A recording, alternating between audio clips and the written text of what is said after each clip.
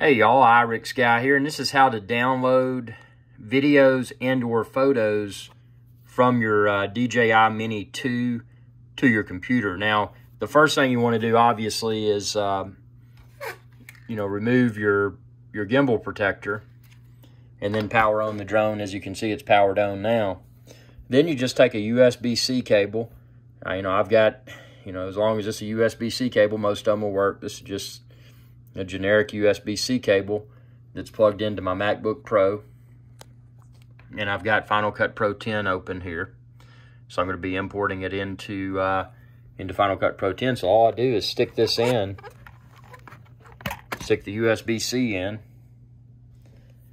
and then here in a second, we should see a pop-up. And we did. So here's all my my videos from today. I got four clips.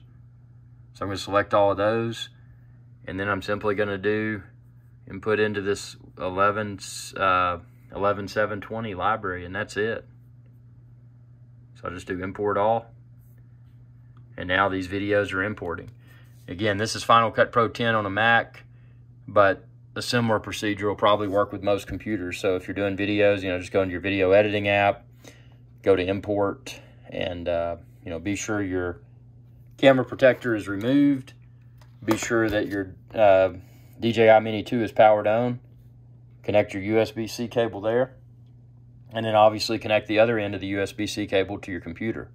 So I hope this video helped uh, keep the questions coming. I know there's there's drone users of all experience levels. So you know I'm willing to answer any questions that you may have if I've got an answer I'll be happy to post a video Thanks for your viewership. And be sure to subscribe and ring that bell icon when you do to be notified whenever I post another video. Oh, and if you're shopping for the DJI Mini 2 accessories, maybe even another drone, expand this video's description and then click the link there and you can find it all there.